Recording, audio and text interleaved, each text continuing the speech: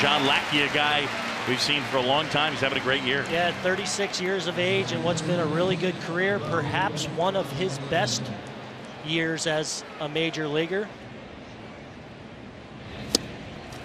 And Lackey gets the strikeout, two down. Cervelli, this is out to short. There's one, and there's two.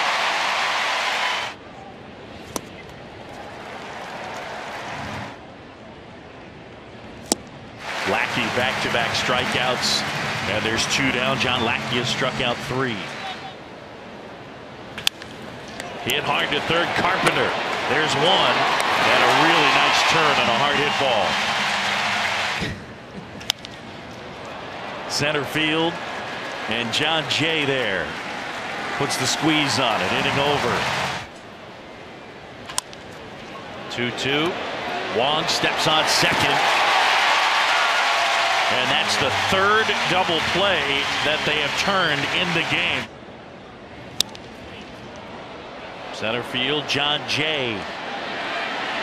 Able to hold that one in. So John Lackey gets him one, two, three on six pitches.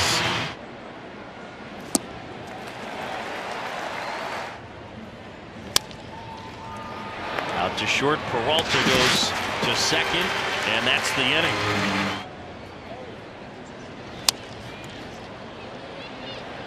Lackey getting McCutchen to reach. Piscotty pulls it down.